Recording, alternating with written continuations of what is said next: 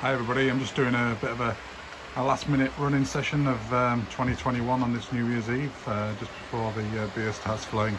Uh, yeah, just uh, just haven't had this layout running for a while, so I've been concentrating on another one I've been doing for for uh, somebody else. So, um, but yeah, just having a bit of these up and run, just took a little bit of um, track cleaning to get it sorted. So, so yeah, just having a bit of a bit of a quick play. Some trains running on it.